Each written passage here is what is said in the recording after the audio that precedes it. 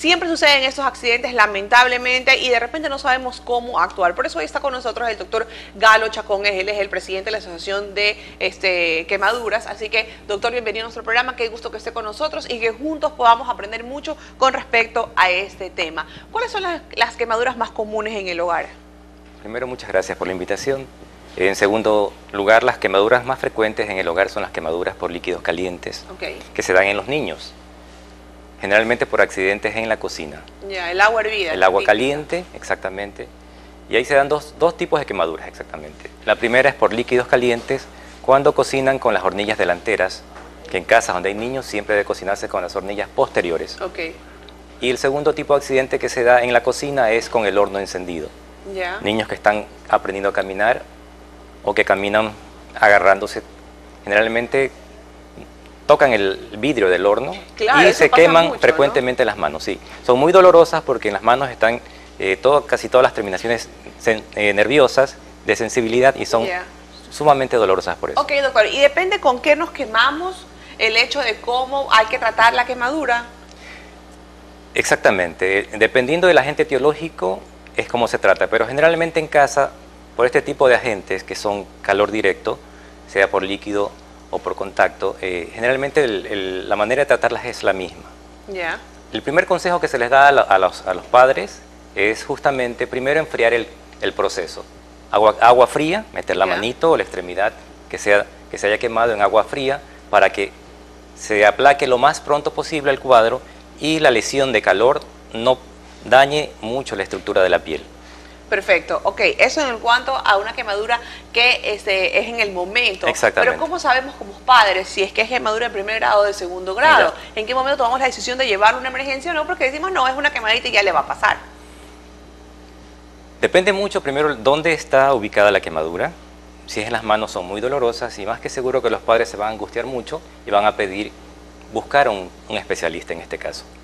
Generalmente después de, enfriar el cuadro, lo primero es un analgésico. Generalmente los padres ya tienen algún tipo de analgésico por algún proceso que haya tenido el niño y en ese lapso llevarlo a un especialista. Generalmente las quemaduras de primer grado son solamente aquellas que tienen un tono rojizo. Okay. ¿sí? Esas eh, curan espontáneamente, pero en el caso de que sea en palma de manos, son muy dolorosas. Hasta que, se, hasta que pase ese proceso, se van a quejar los niños. Las quemaduras que hacen ampollitas son de segundo grado superficial. Ahí hay que preocupar. Claro, en estos casos ya necesita atención directa.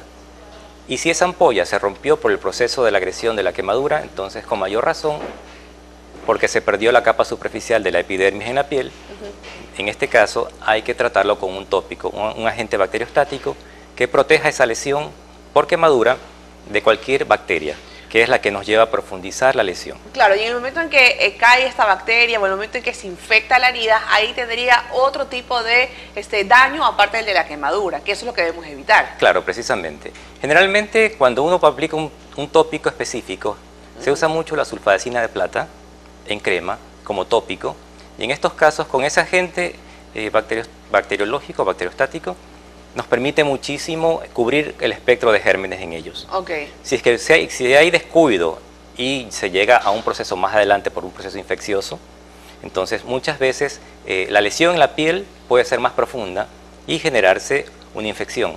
Al haber una infección se profundiza la lesión y muchas veces va a requerir resección de esa piel en mal estado y aplicar un injerto de piel. Y doctor, lo más importante es tener esta herida cubierta o al aire libre. ¿Cómo hacemos para que se cure más rápido? Por lo general lo preferible es que, esté cubierta, Ok. porque de esa manera duele menos. que, ay, cuando se le pegue eso a la gasa, por ejemplo, ¿cómo evitamos eso? Lo que pasa es que hoy en día hay muchos productos que nos ayudan a evitar ese tipo de, proceso. Ya. Y generalmente... bien eso, ahorita que habla de esos productos, ir a la farmacia y decir, oye, es que mi hijo se quemó, ¿qué le puedo poner? Y pácate, ahora ya, me acuerdo que hace tiempo había una especie como de telita, de gasa, que lo que era era muy aceitosa, ¿verdad? No sé si todavía existe en el mercado. Y los padres utilizaban eso mucho. ¿Se puede seguir utilizando eso? ¿Es una medida buena para poder eh, contrarrestarse? A lo mejor es una quemadura de primer grado. Sí, en una quemadura de primer grado que no hay lesión de la piel, solamente un, enrojecimiento o eritema. Una, una gasita de ese tipo no provoca ningún tipo de molestia. Pero ya en las, que, en las cuales ya se rompió la piel, y se va a adherir, entonces generalmente se puede usar ese tipo de producto, pero tiene que ser una gasa vaselinada con algún agente bacteriostático. Hablemos de los fósforos, por ejemplo. ¿Qué pasa? Cuando se queman con fósforo, ya con, con, fuego, no tanto con el agua caliente. Bueno, si hay una quemadura por fuego que es mucho más importante, eh, el agente etiológico es mucho más agresivo. Okay. En estos casos, sí o sí que lo ve el especialista para que justamente vaya determinando en qué tiempo esa lesión puede mejorar y si no mejora, darle las pautas a los padres de qué es lo que se debe hacer. Perfecto, gracias. Una, pero un ratito, faltaba un detalle más. En, el domicilio, un tipo de quemaduras más que se suelen dar son las quemaduras eléctricas de los niños que muerden y chupan cables. Entonces se mm. lastiman mucho lo que es labio y comisuras labiales. Generalmente este tipo de quemaduras van a cirugía porque eh, la lesión deteriora mucho estructuras importantes. Ok, perfecto. Gracias, doctor. Es importante entonces estar pendiente de los más chiquitos de la casa porque, sin duda, estos son los que generalmente corren mayor riesgo. Con esto hacemos una pausa comercial y enseguida volvemos con más de nuestro programa. Ya venimos.